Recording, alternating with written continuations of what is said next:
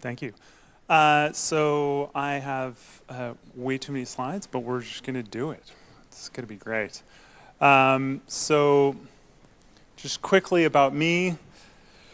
These are kind of my credentials for why I should even be talking about that. I think the most important credential is the photo of me with a really full neck beard, because if you're going to be doing cloud infrastructure, neck beards, they count for a lot. Uh, Fog Modeler is my, my Twitter handle, and I'm going to be releasing more information on Twitter in the coming months. We're going to have some releases and whatnot. Uh, I work for a company called Near Space Labs. We're a high altitude, high frequency imaging company. And uh, yeah, we've just completed our, our first really large survey in Austin, Texas. We're hiring if anyone is interested in software engineering or, or data analysis. Uh, so, yeah, now onto the talk. But, uh, but first, I'd like to talk about my, my beef with uh, GeoJSON. Um, but actually, my beef with GeoJSON doesn't matter because it's, you know, it's, it's part of the GIS world. I'd also like to point out it's really amazing that on the internet you can get a, a stock photo of a meat tenderizer holding an Erlenmeyer flask while wearing glasses and smiling. I didn't, I didn't know that I needed that. Uh, so what is STAC? I don't know if a lot of you have been in some of the other STAC uh, talks, but uh, this is a, a, joint effort between a lot of different groups to create a standard for, for sharing spatiotemporal asset catalogs. So basically, what I think of it is, is like you know, if you work for Planet and you work for Maxar and for Near Space Labs, each one of us making our own API for accessing data, our own client libraries, it just doesn't make any sense, like this kind of reproduction of work. And it's also a pain in the ass for all the customers because then they have to go through and use these different client libraries. So if there's one client library for everyone to search different imagery data sets, it's just gonna make everyone a lot happier. Um, but so STAC is, it's implemented with JSON and OpenAPI and some, some linting on the JSON so that your kind of your definition for your service is ensured to be up to the specification that the, the group has put forward. Uh, a different version would be using protobuf and, and gRPC. So first, like what is, what is protobuf? So this is the, the lingua franca of, of Google since 2003. It's a, a, binary message format. You can kind of think of it as like a, a more compact XML or, or JSON. It's, it's strongly typed. I don't know if you've ever heard this story of this like 10 years ago, Steve Yegge. I can't, I don't know what his name is, but he wrote this internal blog post at Google criticizing Google saying, we're not doing a good job of consuming our own APIs. He was saying like AWS is doing this terrific job of forcing everyone that works at AWS to be consuming the APIs. And I think part of the reason that Google couldn't do that was because all of their services use protobufs. They don't use JSON, they don't use XML. And it was just, they, they figured it was a, a difficult ramp up for people to learn how to use this.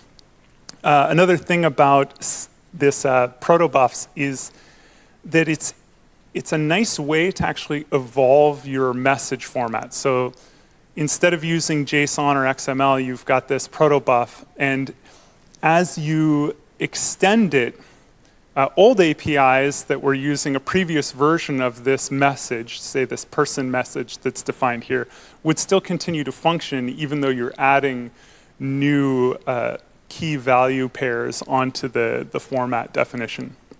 And you can even do things like change the names. So you see here, uh, there's string email.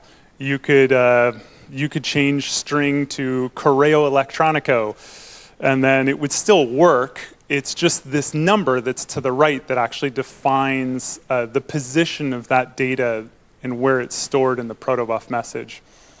Uh, so what is gRPC? So gRPC is something you can think of as like, this is a framework similar to, to a combination of OpenAPI and REST.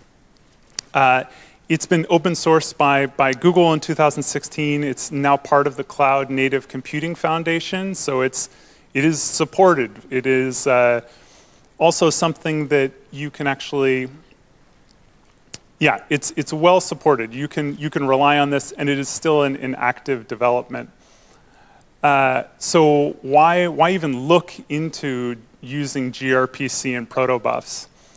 Uh, yeah, so the serialization of protobufs is, yeah, it, it makes the protobufs, the messages themselves, smaller than JSON. So when you care about you know, network-bound processes, you want to put less information out onto the network. And so smaller messages means that you're going to be taking up less bandwidth.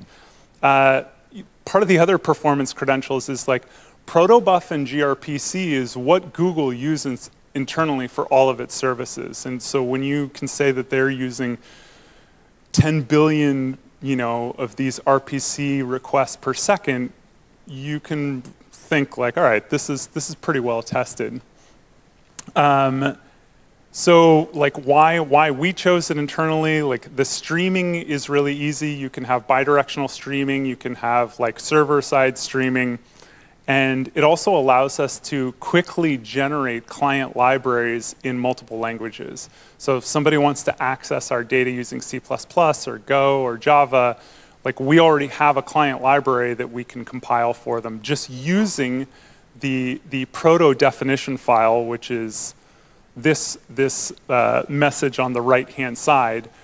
I'm able to use something called a proto compiler in order to create the serialization and deserialization code for these messages. And using those proto files, I can also define my, my services. Uh, so these are a few graphs that uh, Uber put together when they were looking for a new message format because JSON messages were getting to be a little bit too large. Uh, you can't really read this, but you can see the bars, and, and green things are, are what's uh, are JSON messages, and the red are the protobuf messages. And so what this is is the total encoding and decoding time. And you can see that protobuf does pretty well. Something called thrift is, is actually what they found to be the fastest. Thrift was a few engineers from Google leaving, going to Facebook and saying like, hey, we should have our own RPC framework and, and message format. Uh, you can also see that the message size of, of protobuf, it's significantly smaller than the, the JSON messages. It's interesting if you look, uh, this is, you know, and, and this is particular to, to Uber's data. It can, be, it can be different for every type of message format. But all the way down at the bottom here, uh, Pickle is actually larger than JSON. So at, I don't know how, I don't know what the format of their data was, that pickling it with Python would make it worse than uh, that it actually would be in JSON, but just something to note. So this, this pink line on the lower left-hand corner is sort of where Uber said, like, all right, these are the, the best performing message formats for, for both encoding and uh, size. But Uber didn't end up using protobuf because it's really strict. Uh, so you know you have this proto file definition, and it has all of these fields in it, and it's not something as dynamic as JSON is. Like with JSON, we can just kind of create this map and stuff whatever we want in it. It does sort of require, though, that the person sending the message and the person receiving the message both know what they're looking for. Not always, though. You can just kind of search through a message and, and look for things. So actually this, this strictness of protobuf is to our advantage when we're defining a standard for how we want to transmit data. Because right now what we do with uh, what they've, they've done with the STAC project, it's, it's really impressive. They've, they've also created a linter in order to make sure that whenever people define their STAC service, it is in accordance with what the definition of, of STAC means with these protofiles, we can just have a protofile and and yeah, you don't have to have a linter. It's it's very it's strict. Uh, so these are some of I, told you how there's this proto compiler which actually creates both the, the client libraries for serialization and deserialization, and also the client stub for communicating with the gRPC service.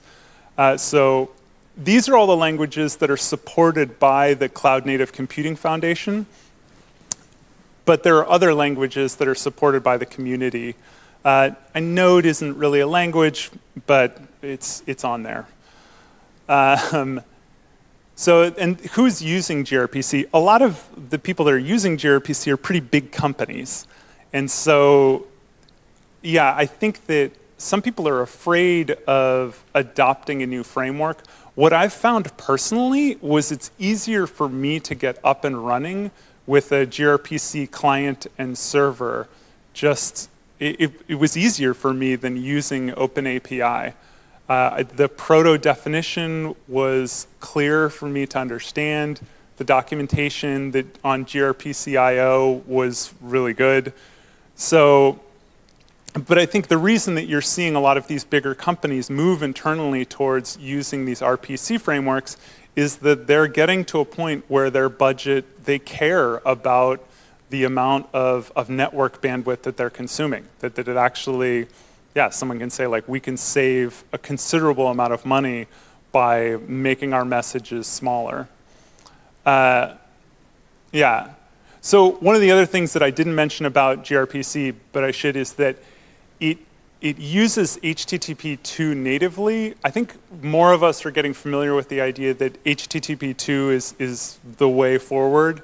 Uh, so like if you're like say you're compiling GDAL yourself now, you actually want to compile curl with this nghttp2 library because that will improve all of your kind of your cloud optimized geotiff pulling and all of that stuff. So gRPC is built on that like natively. You, you actually can't use HTTP 1.1, which there's some load balancing issues with that, but we can talk about that in questions. So our current STAC service, so recently we wanted to kind of make some, some STAC data sets available. Uh, personally, as a company, we're using NAIP because we're actually using NAIP for part of our, our pipeline. Uh, that's hosted on AWS. And then there's also a Landsat on AWS that a lot of people are using. And we haven't seen so many people uh, do a STAC service with Landsat on, on Google Cloud, and we thought, oh, that'd be cool. Uh, so we've also, on our, our STAC service, we're, we're serving the Google Cloud data, which in a way, it's kind of cool that they've got Landsat data from 1972 to the present. Uh, so, and in all of these cases, you're able to search by, you know, spatial extent, temporal extent, by like the ground sampling distance or cloud cover.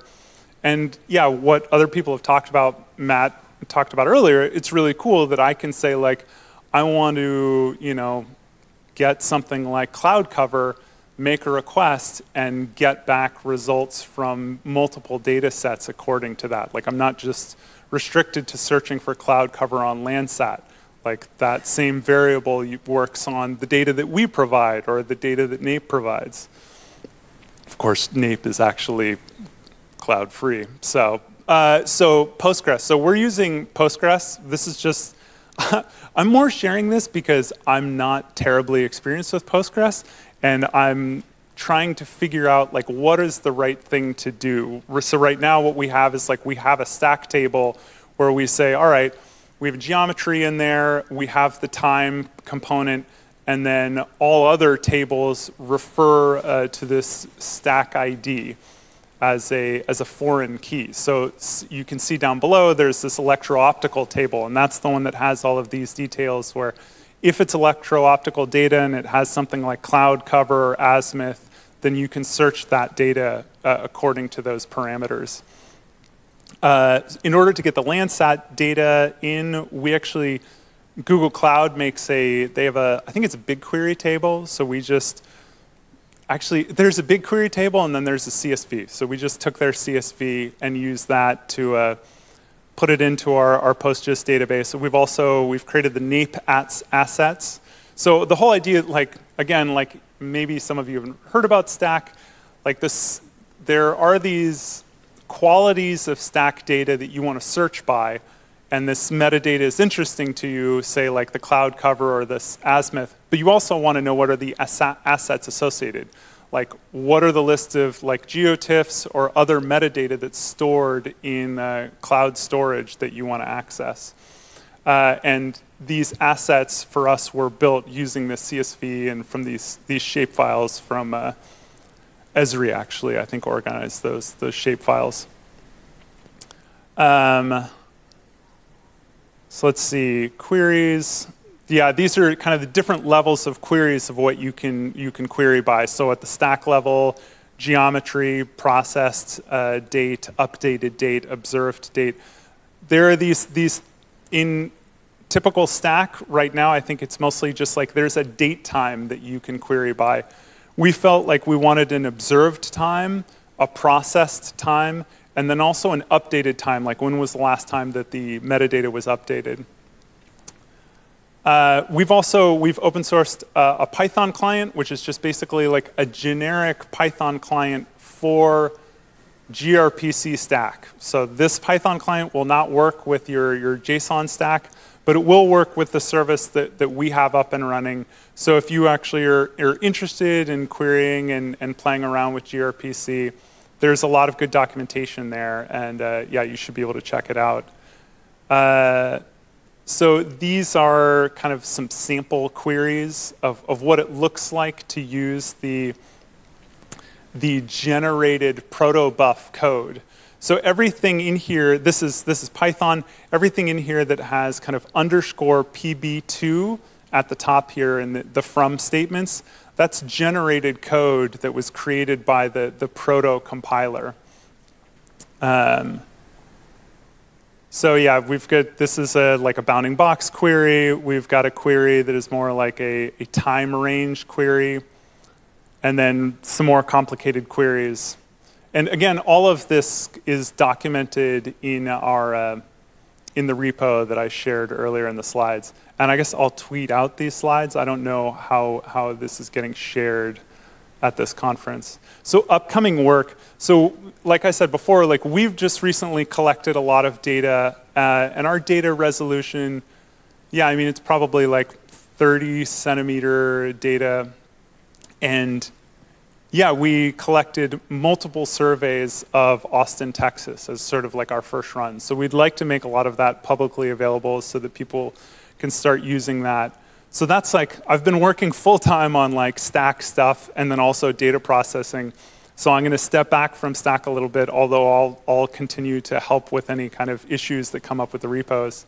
Um, there's a few other things in here, like I'm going to write some, some medium articles, maybe on gRPC and protobuf. If people in the community are interested in learning about these tools and using them more, I'd, I'd love to share my experience. So if there's interest, please let me know. Uh, yeah, and we're going to continue the process of getting our gRPC protobuf version of STAC actually accepted as a part of the STAC specification. Um, and I'd also like, I, yeah, I'd like to get Sentinel-2 in there. I'd like to get Nexrad data in. Uh, and I've, so I've written a service, a STAC service in Go. And again, like if there's interest in this, I'd, I'd love for people to let me know because I would, I would you know, I've already got the okay to open source it, and uh, but it takes effort to open source it, and if no one's going to look at it, then like I, I, would rather not. Uh, yeah, so I wonder if this will actually work. How does this work? It won't work if it goes to Chrome, I bet, which is sort of, oh no, it will. So this was from uh, a recent flight in Texas. And, oh, you can't see it. What a bummer. I can see it. It's beautiful. um, yeah, I'm not really sure how that works. Exit the presentation. All right. So,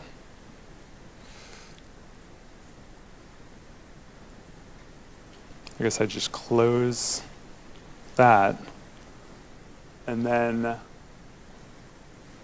well, at any rate, we can maybe maybe you can help me show it, and then I can take questions.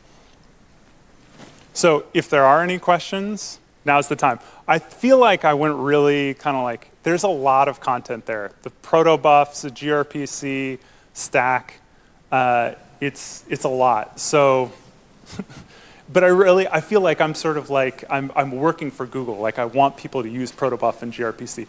But by the way, protobuf and gRPC, they're like part of the cloud native computing foundation, so you don't have to worry about it being in like a closed source solution anymore.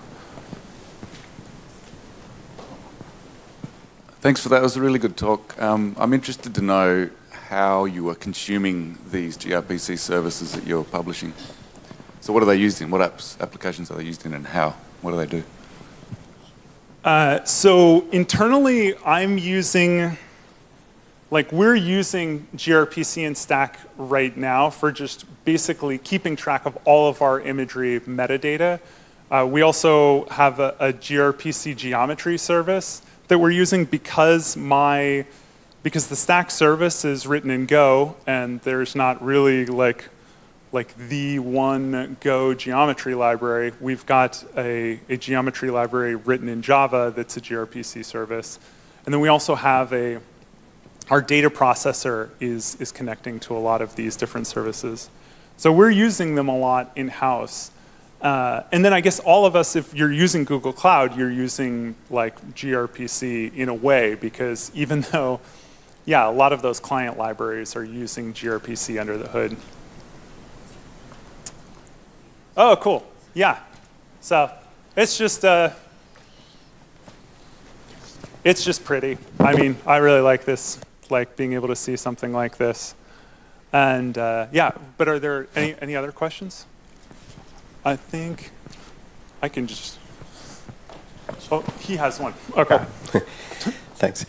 Uh, so you, you brought up the issue of thrift, and I guess it uh, made me curious if you could compare and contrast uh, strengths and weaknesses of, of thrift for similar tasks. Uh, so I, I, actually can't. I didn't. I think the the documentation for gRPC and protobuf was good enough that I just went, all right, I'm doing this. Like I'm not gonna.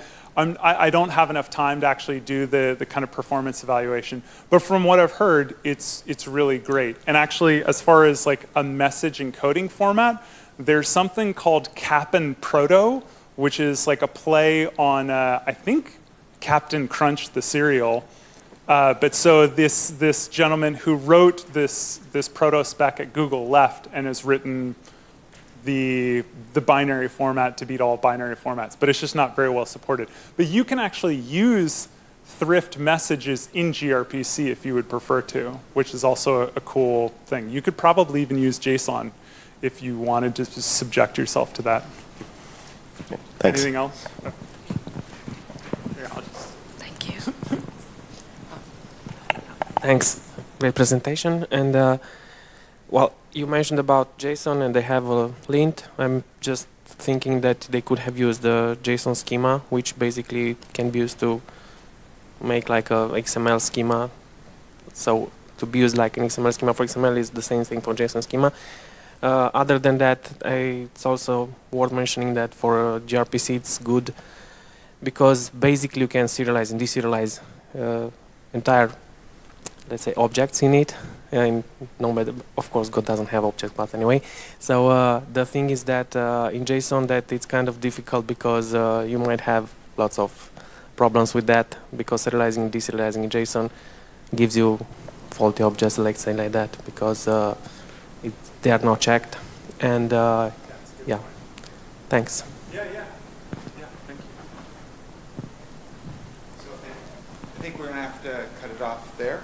Cool. Um, thank you for a great presentation, David. And uh,